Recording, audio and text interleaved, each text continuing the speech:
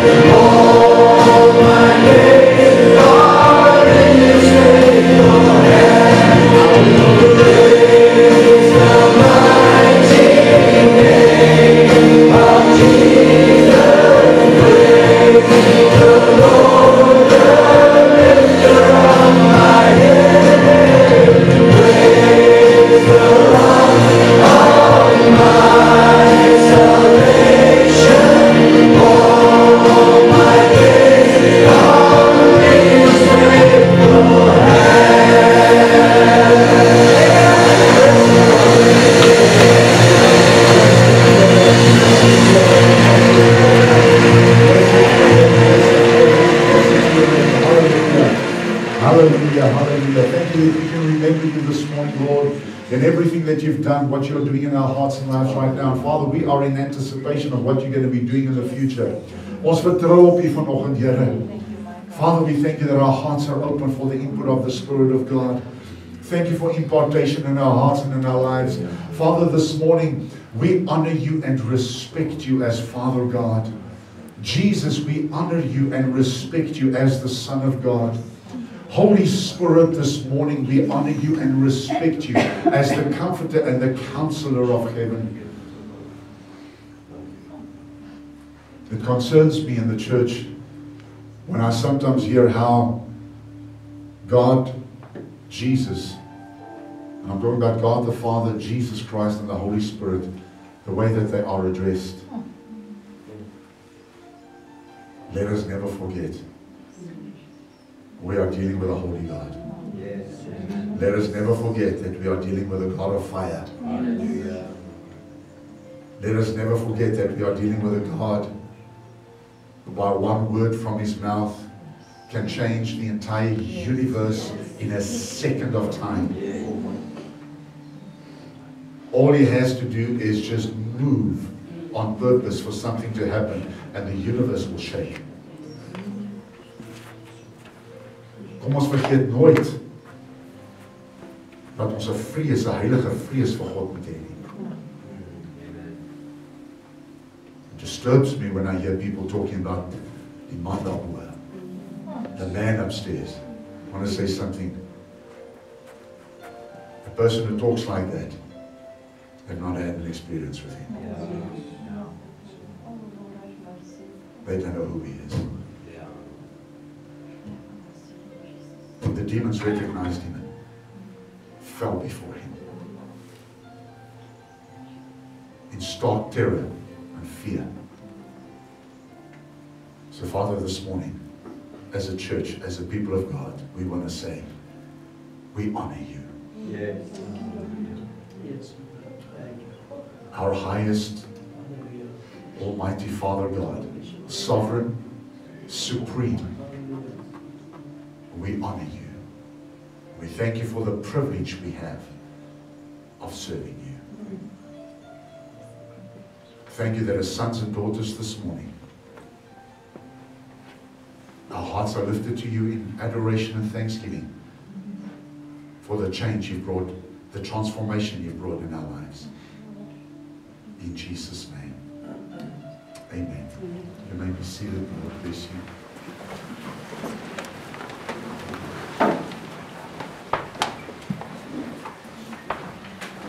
Before I start ministering, before we start um, doing our message, is there anyone here this morning who has a testimony that you want to just give praise to the Lord for something He's done in your life and you want to honor Him today for who He is? Anyone who has a testimony? Um, we just want to thank the Lord. Is this on? Yeah. Okay. Uh, praise the Lord for that. He went to the ENT. That's the only way I can say. Yeah. Um, the holes in his ears, the one hole in his one is completely healed, Thank you, Jesus. and the other one is very small, but we speak healing on it. In the name of Jesus. Thank you, Father. Amen. Thank you, Father. Thank you, Father. Right? I just want to Testimony? just Yeah. vision I saw last week. Yes, yes, yes, yes. It's very important that you share that. Um, share with them what you saw last week. Last week while we were praising and worshiping, um, I just had this vision that it put into my into my soul. It was a vision of us all standing around. Just put your microphone.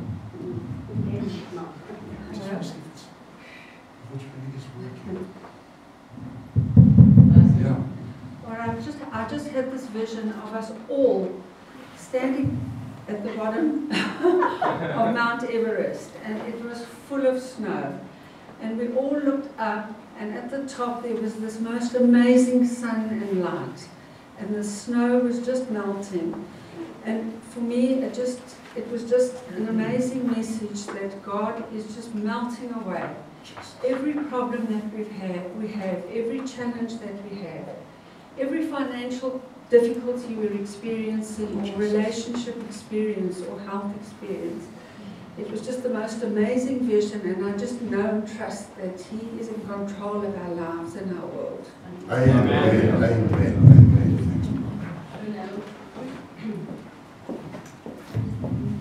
Hi. Hi. As we praise praise to the Lord, you know, about two, three weeks ago, four weeks ago, Brenda's son Christopher was in a motorbike accident. Uh, we were at EWG that night. We were driving to Brenda's work to go and pick up a file or something. And we got a phone call saying Christopher is, was in an accident and he couldn't move. You know, he was like paralyzed. So obviously we went to a work, we were right there at the gate. We grabbed the file and we went through to Wilgeo Hospital. When we got there, Christopher, well, he was still lying in the bed with a neck brace and all that nonsense. And he's gone for a um, full body scan. And the results came back and uh, the doctor said there's absolutely nothing wrong with him. Amen. He T-boned the car and the only thing that was wrong with him, he had a little cut on his hand because he lost his, his glove. And it is only by the grace of God that Christopher is with us today. Thank you, Jesus. Glory to God. Amen. Amen. Give the Testimony time. Anyone else that's got a testimony that you want to testify of what the Lord has done, wat die Here gedoen het in jou lewe? Anyone else? Okay. Praise be to the Lord. Man, Fred, goed om jou te sien, boet. Great to see you, Fred. And other visitors, baie welkom by by ons vanoggend. Anyone else? Annabelle, welkom. Bless you. It's good to see you this morning with us. This is going to be this is going to be awesome. I mean, I've been looking forward to this one for some time. And like I said to you, we kept this for we kept the best for last. And I want you to go to the first book of Corinthians and the 12th chapter. Now, what we're going to do today is how many of you are ready? And I asked you this a while ago. How many of you are ready for the deeper things, the, deep, the deeper the matter? You want some? Uh, there we go, Josh. Can I just hear? How many of you are ready for the deeper things? Hallelujah! I'm in the right place this morning. I took the right turn from Robbie Street. I know that I'm in the right place because we're going to be talking about you this morning, specifically you, every single one of you seated with your behind in the seat today. This message is for you and it's about you. Now, when it comes to the gifts of the Spirit, there has obviously throughout the years been some confusion, and unfortunately, I see there is still confusion. Not because I have a handle on it, I don't. I'm still learning. Even now, as I was preparing this, uh, I still see things, and I thank the Lord that He opens things to us and to our understanding. But we've been saying throughout the series, there's a couple of words we've been saying one, two, three, four words. God is preparing you. And there are those, I said already, and we said it at the beginning as we started the series on the Holy Spirit. There are some of you that's going to grab a hold of this. And your lives are never going to be the same again. Then there are others that will say, well, that's more for really the pastors and those who are called to the ministry. It's not really for me. And it will pass you by. I want to say that, that your desire will be granted from your own heart. It will pass you by. And then those who say, I want to make this my own, whether I'm in ministry or not, or whether I'm on my way to ministry, I'm going to make it my own. So I want you to work with me this morning, and I want you to work with me strong through the scriptures, because I want the Bible to speak for itself today. Now, I'm going to. Are you going to listen fast today? Are you going to listen well? Because I want to mention it and I want to move. I want to mention it and I want to move. And at the end, I'm going to tie it all together. So, right at the end of 1 Corinthians 12, it says from verse 24 Now, our presentable parts have now need, but God composed the body, having given greater honor to the part that which lacks it, that there should be no dis- discord or schism in the body, but that the members should have the same care for one another. My desire in the body of Christ is that we care for one another deeply. That's what Paul is saying. And if one member suffers, all the members suffer with him or with her. Yes. And if one member is honored, all the members rejoice with it. Now you are the body of Christ. Say that with me. We are the body of Christ. And members individually. And God has appointed these in the church. First apostles, second prophets, third teachers, after that miracles, then gifts of healings, helps, administrations, and varieties of tongues. Are all apostles? I'm asking the question this morning. Are all apostles? And the, and the answer is no. Are all prophets? No.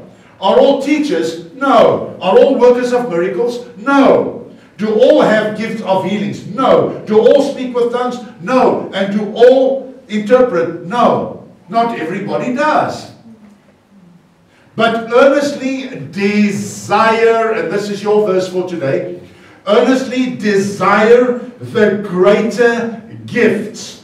And yet I show you a more excellent way. What Paul the Apostle is saying to the Corinthian church, and I'm so glad that the Holy Spirit led Paul to do this, especially for the church of, at Corinth. The church at Corinth was a church that came out of the world, but the world was still in them. That's why they had clear instructions of the order of how things are supposed to work. Now, here's the thing.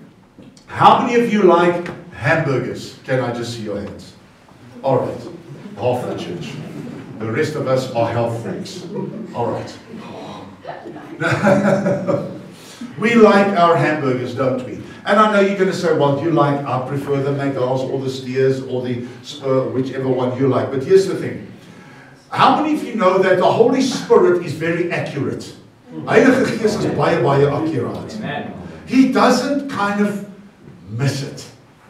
Even slightly.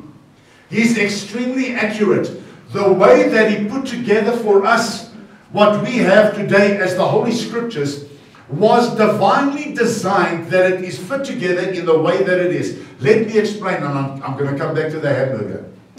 1 Corinthians chapter 12 is the bun at the bottom. All right. Now then you've got all the nice goodies and the relish and all of that uh, on, on that bottom bun. Then you have the patty. Now, for us as men, that's the most important part of it. Amen. Amen. Uh, Amen. And I know the ladies are also saying that, but the patty is really very important. And I like the 100% pure beef patty.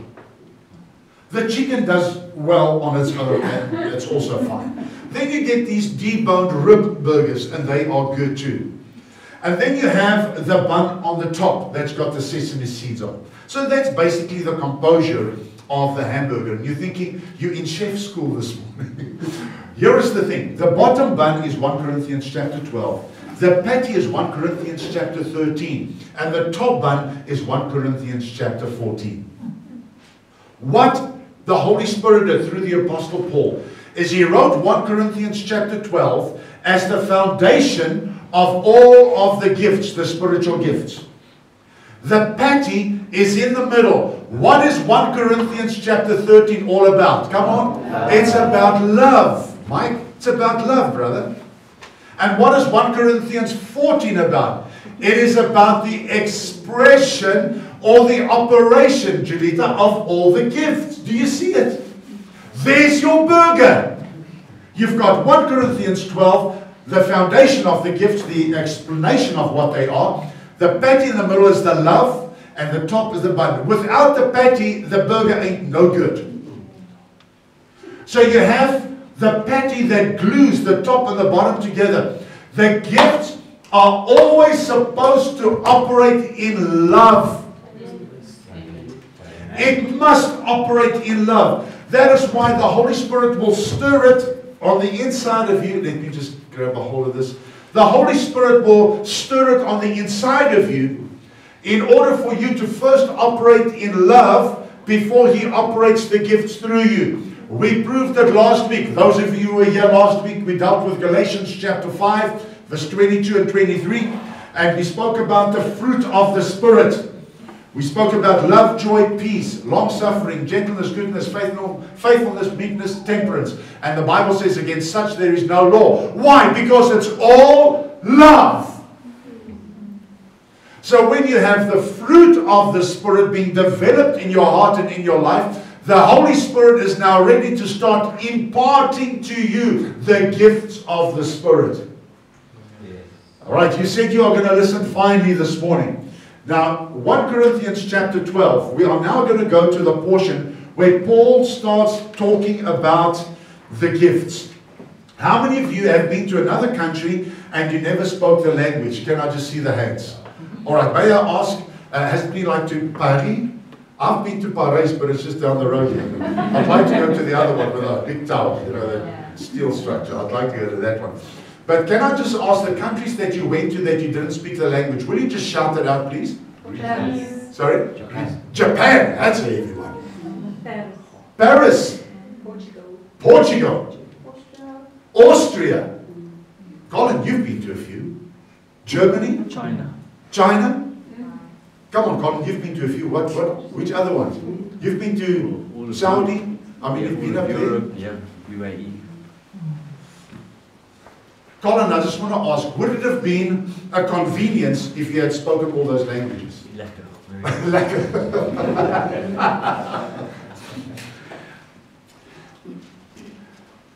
I've just been to Israel and to Kenya and to, uh, I've been to Uganda um, and I've been to Zambia. Now, I've picked up a few of the words when I was there, but I want to say that when you speak the language of the country that you are visiting, it is a huge advantage. I have heard this said, I'm not sure if it's true, you can help me, but they said when you are in Paris and you don't speak the language, it's difficult to get by because apparently, oh, I see they're nearly knocking their heads against their chest the way that they are, agreeing. That the French are not very helpful when it comes to helping you in Afrikaans. English, obviously, but they, they're not very helpful when you don't speak the language. Here's the thing the Spirit has a language. You say, Yeah, I know, Pastor, it's tongues. Hold on, hold on, hold on, hold. Hold on,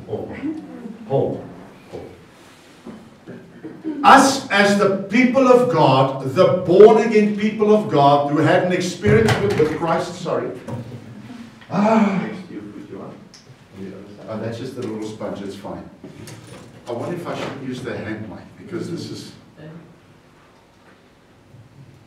Because when I've got a jacket on, otherwise, I'll tell you what I'm going to do. Sorry about this. I'm going to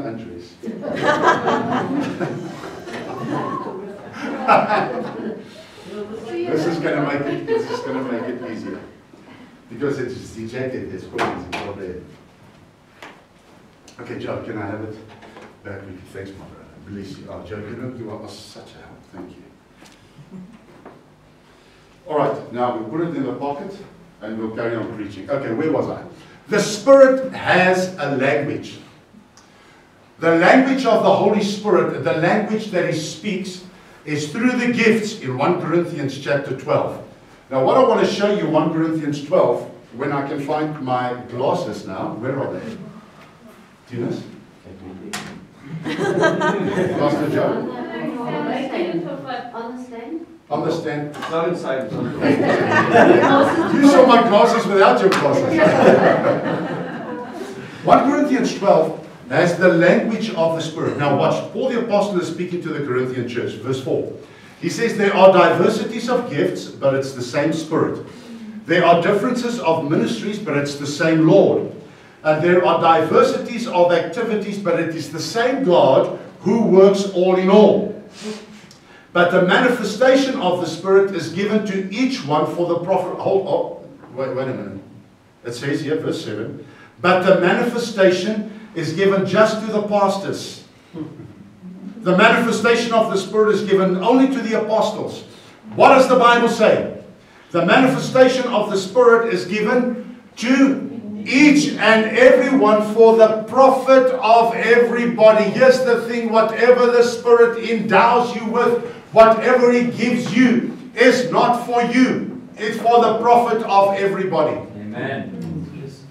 So, whatever you get by the Spirit of God is for the profit of the body of Christ. Watch.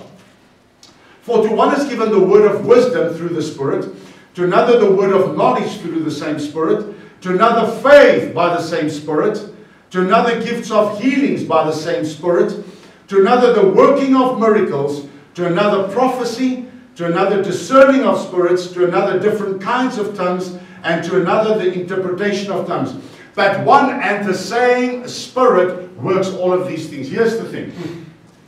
The Holy Spirit, when He endows with His gifts, when He downloads His gifts to His people, it is for the profit of the entire body of Christ. The first portion that He mentions in verse number 7, in, excuse me, in verse number, number 4, it says there are diversities of gifts, but it's the same Spirit. There it's talking about from verse 7 down to verse 12. It's talking about these gifts of the Spirit that we're going to look at just now. The nine gifts. Then it says there are differences of ministries, but it's the same Lord. As I said, you've got to listen fast today. That's Ephesians chapter 4, from verse 11 onwards, where it talks about that he gave some to be apostles, prophets, evangelists, pastors, and teachers for the equipping of the saints, for the work of the ministry, for the edifying of the body of Christ, until we all come into the unity of the faith